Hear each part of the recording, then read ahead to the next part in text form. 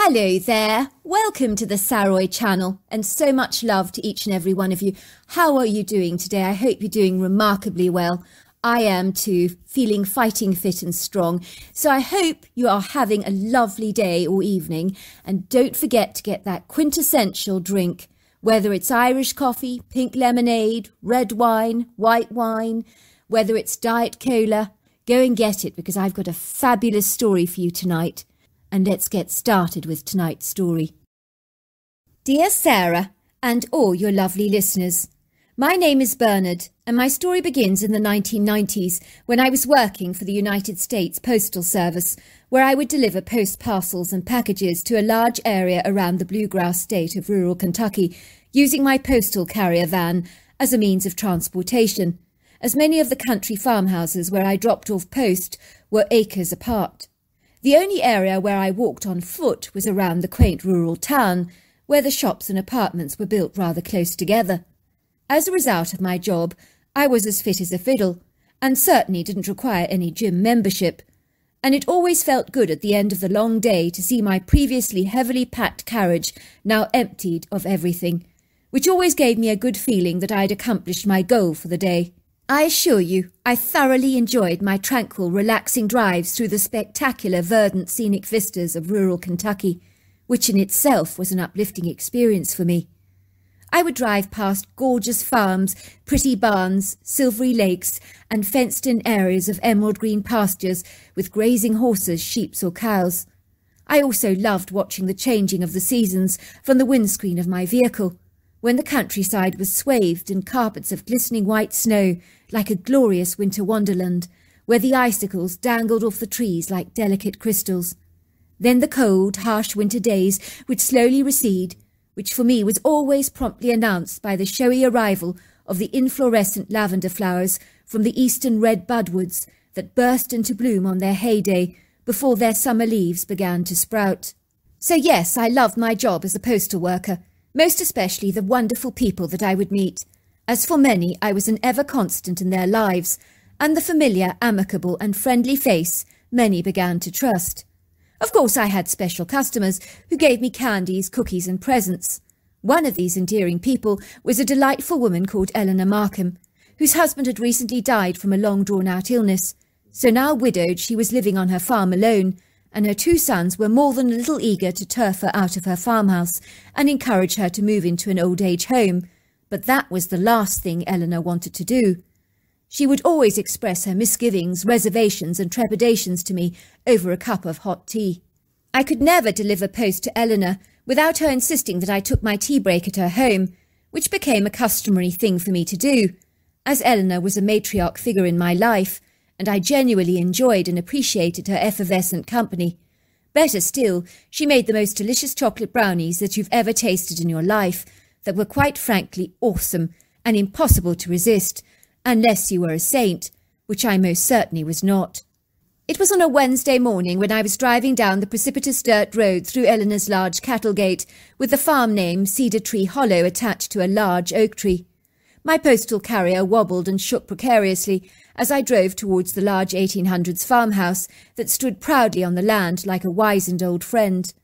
I parked in the paved driveway and saw the familiar, slender, sprightly figure of Eleanor standing in the doorway of her home, eagerly awaiting for me to accompany her for my usual piping hot cup of tea. I smiled happily to myself because I warmed to Eleanor. I could tell as I strided over to her on this lovely spring morning with the post in my hand that she was looking very unsettled and somewhat discomposed.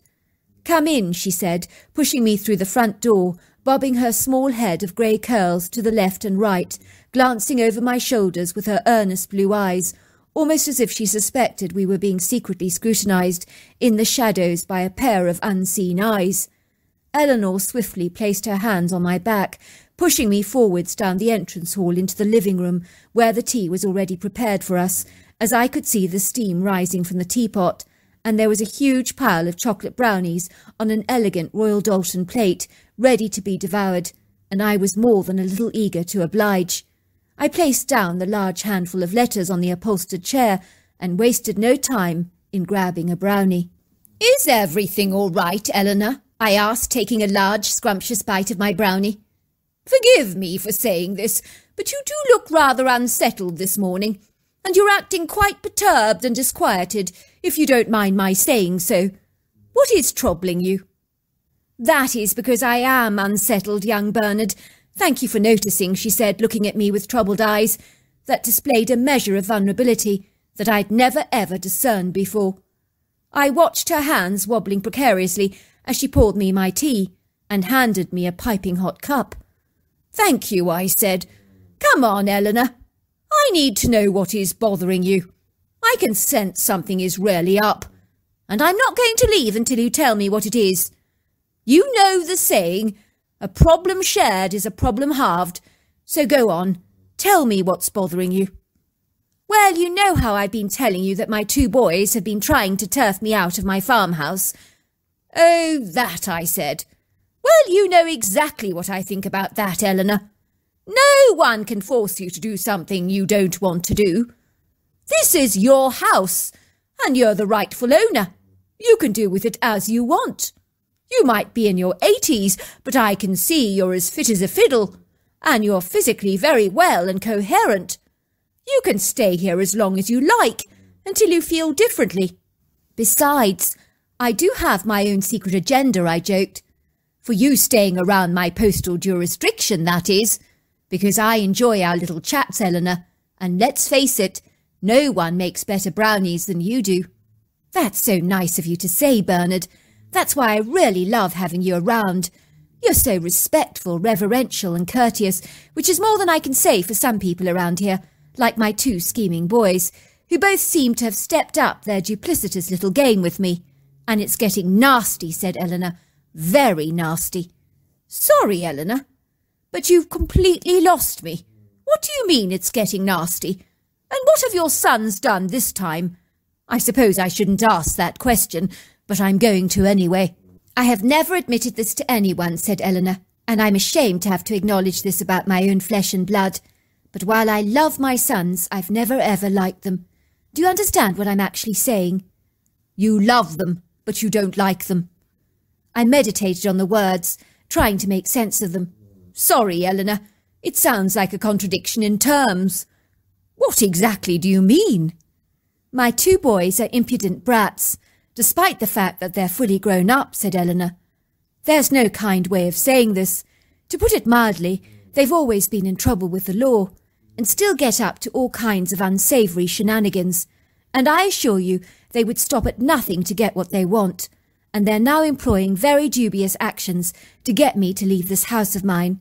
And what's even more appalling is that they have no clue that I'm on to their devious charades.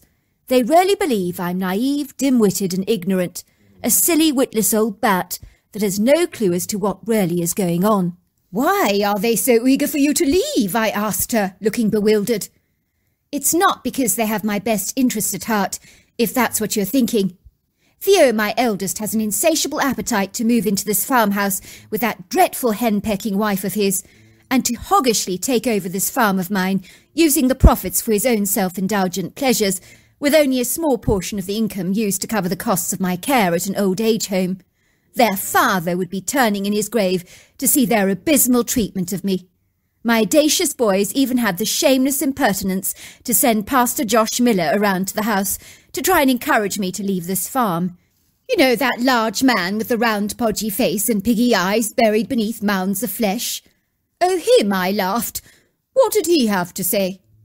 Well, after eating over a dozen of my brownies washed down with four cups of tea, he had the irreverent audacity to tell me that given my great advancing age and the physical degeneration of an aging body, that my sons were absolutely right and I should consider moving to an old age home forthwith. What a cheek, I said. You're so young for your age, and as active as any youngster I know, maybe more so. I said to him, Pastor Josh, age is just a number, and I assure you that I'm in perfectly good health. And if you don't mind my saying so, it's a little like the pot calling the kettle black, because you're a fine one to give me advice. If you were in perfect health yourself, I might listen to you more. But I did notice that you were out of breath walking from your car to the living room, which means you're dreadfully unfit. I also noticed that you have high blood pressure. Well, I've heard about that. fatty liver disease and diabetes, not to mention you are definitely obese. Looking at you at a guess, I would say you're approximately £500. How dare you come here lecturing me on moving to an old age home based all upon my age, not on my health at the bequest of my sons, when you should take a long hard look at yourself first. Oh my word, Eleanor, I'm impressed with you. I bet you that did not go down too well. How did the pastor react? Not very well, I'm afraid. He went red in the face and said that he hadn't come here to be insulted by me, and that he was leaving at once. I said, Good, and don't come back, Pastor Josh, unless you have something sensible to say, or you want to read the word of God to me. Otherwise, be gone from me. She continued, You see, I'm in the fight of my life, Bernard, against my own guileful sons, who've been trying to scare me witless as their final ploy or tactic, if you like, to get me to leave my beloved farmhouse, when I'm in perfect health, as you can see, and not in need of any physical assistance or care. Scare you, I said? You never said anything about that, Eleanor. Why would your son scare you? That is a seriously unkind and insane thing for them to do. I was coming to that part of the story. You'll be surprised, Bernard dear, how low some people are willing to stoop in order to get their own way, even if it means scaring their mother half to death in the process. My oldest son, Theo, who's over six foot tall, lanky and well built, has been dressing up in an ape costume. He's been running around my backyard in the middle of the night, banging on the wooden rafters to wake me up. I see him pressing his face against the window, squashing his large nose against the glass so it smudges the whole pane, and he promptly proceeds to make some ridiculous fake grunting sounds. And I know it's him. I could recognize him anywhere, based on his build and size. He's not fooling anyone, least of all me and doesn't scare me one little bit. On the contrary, it disgusts me that he's behaving in such a juvenile fashion. I was stunned at this appalling revelation and astonished at the lengths that Eleanor's son was going to in order to scare his own mother out of her home. As for dressing up in an ape costume, that was rather insane and ridiculous. Eleanor was no fool, and anyone with a grain of intelligence knows that we don't have apes wandering around our backyards in North America, especially not human-looking gorillas like Eleanor was describing. I mean, the costume is a dead giveaway, said Eleanor. Theo is dressing just like a human in an ape suit, and is barely bothering to disguise his human-like face, which he covers in a large layer of tan shoe polish. I absolutely know it's him. I wasn't born yesterday, and I'm not a complete idiot. So did you call him out on this prank? I asked Eleanor. No, of course I didn't, because either way I stand to lose, don't you see? If I claim to my boys that I saw Theo dressed up in an ape racing around my backyard in the middle of the night and banging the sides of my house trying to scare me, he'll deny it, of course, and then they'll both have grounds to have me committed, claiming I'm delusional and have the first stages of Alzheimer's disease, or I'm losing my mind, as that never happened. They'll deny it, of course. That will give them all the ammunition they need to use against me, to make me leave this house of mine, and I'm not having them doing that to me. If I call the police, and they arrest Theo, well, I'm grassing up my own son, and I don't want to do that. Do you not see how delicate the situation is for me? I think I do, I said. How often is your son dressing up and acting as an ape? Well, he's been pulling off the stunt every night this week at about twelve o'clock. Who knows what he'll do next? He may possibly pretend to be a ghost, but if I was giving him any advice, I'd tell him to go and get a better costume. I wouldn't put anything past him. I'm not remotely scared of any of his tactics, but I am inconvenienced by being woken up in the middle of the night like this. I have an idea, I said. I'll have to run it over with the wife, of course, but how about I stay at your house overnight? so that I can be a witness as to what is going on here, and we can get to the bottom of this incredible situation that you have going on. If you're sure you don't mind, said Eleanor, that would be so appreciated. At least I'll have a witness as to what is going on. And so it was that I slept overnight in the very elegant spare room at Eleanor's home, and about ten past twelve I was awoken to a loud rattling sound, as if something very big was banging the sides of the house, and making a huge thunderous commotion. On hearing this, I sat bolt upright in bed, filled with an overwhelming sense of disgust. It was inexcusable and repugnant that Eleanor's own son was trying to scare the poor old woman like this, just to get her to leave her farm. It was a cruel, heinous, and atrocious thing to do, and I wasn't going to let Theo get away with this insidious little act of his. No, I wasn't.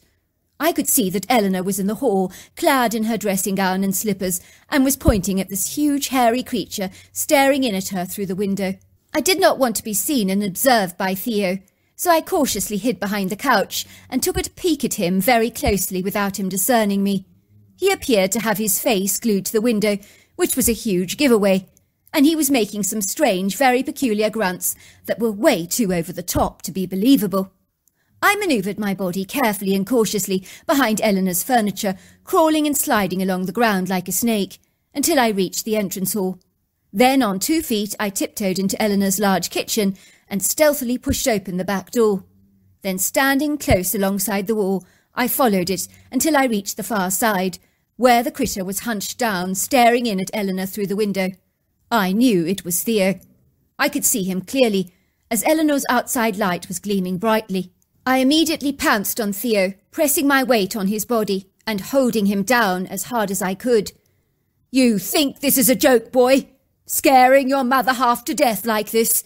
You ought to be ashamed of yourself. And get the silly ape suit off you. It's not fooling anyone, least of all me. I tried to pull at the hair on the body, and to my astonishment, I realized it was real. I was gobsmacked.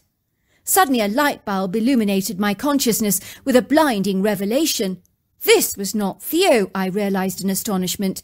This beast was a living, breathing being that was so remarkably human that it was almost uncanny. Granted, there were powerful ape-like influences, most poignantly seen in the long, shaggy, dark hair that covered the body, in what I'd initially believed was an appallingly bad ape suit, with overlong arms and a pyramid-shaped head that surrounded the human-like face like a hairy cape. The critter appeared confounded, especially since I'd pounced on him so unexpectedly. For a second he stared at me with disbelief and astonishment. He seemed dumbfounded. He regarded me with his deep-set eyes, seemingly staggered that I dared to challenge him. Obviously this was not something he was used to. He pushed my body violently with his overlong arms, with such a brutal, savage force that I fell backwards onto the ground on my back, where I found myself staring up at this anomalous critter's dark eyes, which in certain lights beheld a very distinct red eye shine that was exceedingly menacing. By this time I was terrified. My heart was pumping so fast, while my adrenaline was surging through my body like a steam train. I realized that whatever this creature was, it was without doubt an apex predator, and with little effort, much like swatting a fly, it could easily kill me. I knew I was in perilous danger, but staggering back onto my feet was not even an option for me, as my body seemed almost superglued to the ground because I simply could not get up. I watched in horror as the critter curled back his lips to reveal a glistening white pair of large teeth, and then it let out the most terrifying growl, and I assure you this ominous sound was far more intimidating and threatening than the growl of a lion.